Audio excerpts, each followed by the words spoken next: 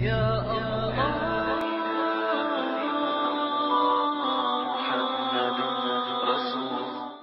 habit that we have, that many a times we're making dua and we're saying inshallah. Nabi Kareem sallallahu alayhi wasallam has actually told us in the Hadith Sharif that when we make dua, we mustn't say in.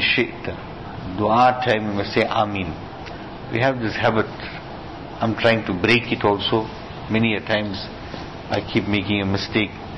We tell a person also, Allah Pak give you shifa. Somebody is sick, Allah Pak grant you shifa, inshallah. It's not a place for inshallah. That's a place to say Ameen, not a place to say inshallah.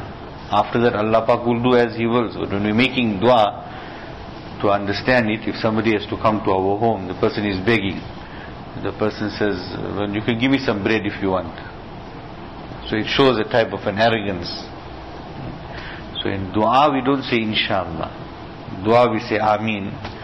But we are in this habit we're in this habit and we have to try and break it.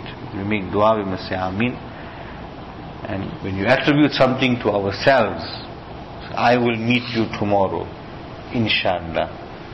I'll fulfill this task next week, inshallah.